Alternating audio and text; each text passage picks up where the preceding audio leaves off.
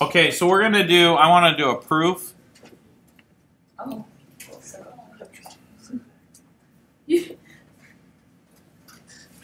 Yeah, I was joking with a, another teacher. I said, whenever I prove something, whenever you teach a math class like calculus or something, you say, I want to do a proof, you could you could hear a collective sigh.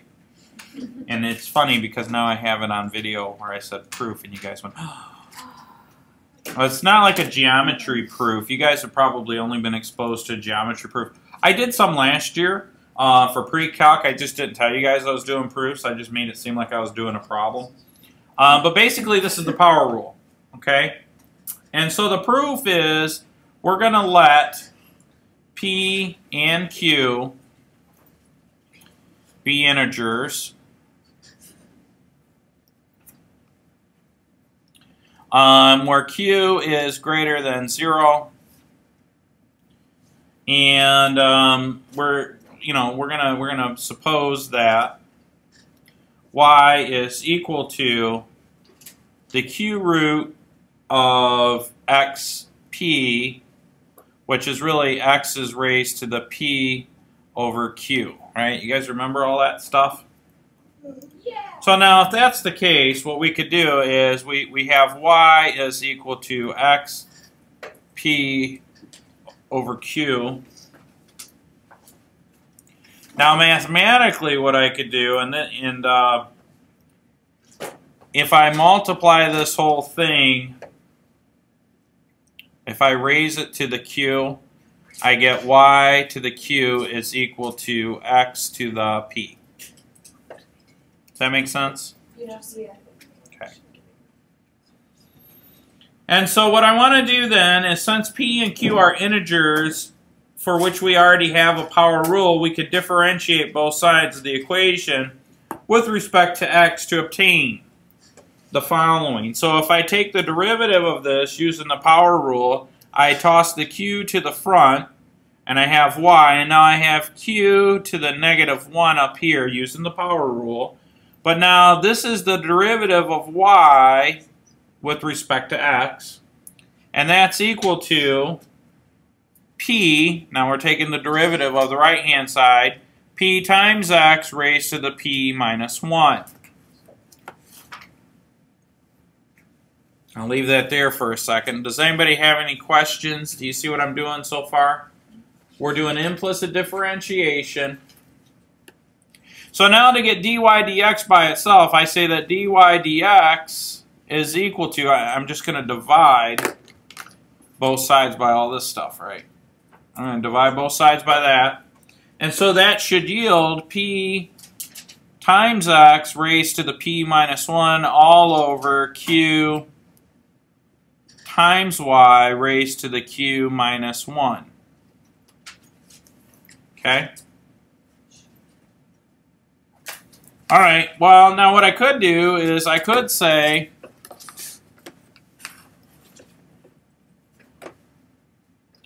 dy dx is equal to p over q times x raised to the p minus 1 over y raised to the q minus 1.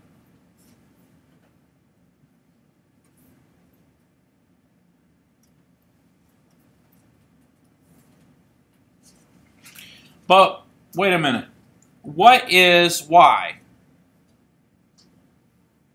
Well, we said way back here that y was equal to x raised to the p q.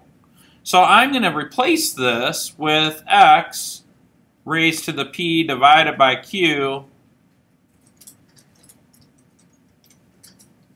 raised to that. Well, let me write it a little bigger. It's a little, little smaller there. So if I replace the y with x raised to the pq, that's going to be raised to the q minus 1. Do you guys see where that comes from? I'm just replacing this y with x to the p over q. Wait, I don't even understand why you're replacing. it. Well, it's part of the proof. What I'm trying to do is prove the power rule. Okay? for rational powers. So we know the power rule for integers, but we want to see if it works for rational powers as well. Rational powers is like a fraction. So it, will the power rule work if I say x raised to the 2 thirds? Well, we're trying to prove that. And one way that we prove that is symbolically. We use a bunch of variables to represent numbers, and if I can make it look a certain way, in other words, what I want to do is I want to kind of I want to kind of prove this. I want to prove that this will work if n is less than 1, if it's a fraction. Okay? So that's what we're trying to prove. So what I'm trying to do is I'm trying to figure out what y prime is, and hopefully, um, because I'm using a bunch of uh, fractions, maybe it'll work out and show something that looks similar to this. Does that make sense? All right, so what we're going to do next is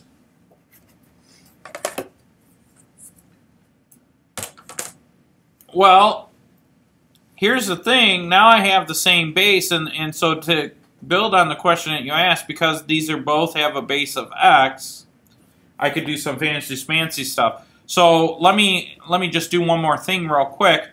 Uh, this is p to the negative 1. Now, when I raise a power to this, what do I normally do? I normally multiply this times this, don't I? Yes. So when I do that, I got P, P over Q times Q minus 1. Now in the next line, your, your textbook skips this line. I'm not going to because I want you to kind of see what we're doing. Um, P times Q, in other words, if I, if I expand this out, and I'll write this over to the side, um, P over Q times the quantity Q minus 1 is going to be uh, PQ over Q minus P over Q. But these Q's cancel. Right? So then this becomes x raised to the P minus P over Q. But now what can I do? If I want to move this up to the top, how do I move this up to the top? I subtract this from the top. Right? Do you remember that? If I have x to the m and x to the n, isn't that the same as x to the m minus n?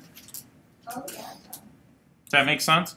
So now I've got P over Q times X times P minus 1 minus P minus P over Q. Now see, my goal is, my goal is, is I want it to look sort of like this. Are we getting there?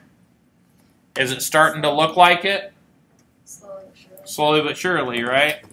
All right, so now I've just got to do some algebra on that right there. And what happens when I distribute the one, the negative 1 through, this becomes negative p, and this becomes positive pq. All right, and so now we're just kind of adding them up.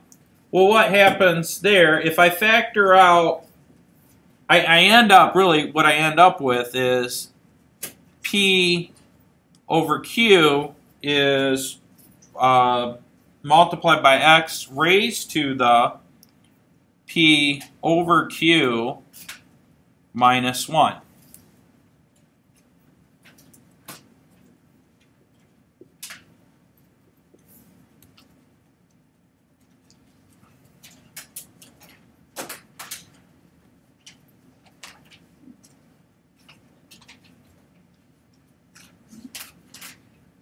So that's the power rule, identical. So in other words, what they're saying is, is I've just proven the power rule will work for any power less than 1.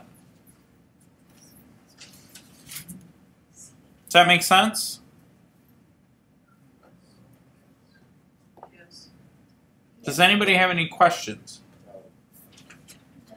No. Okay.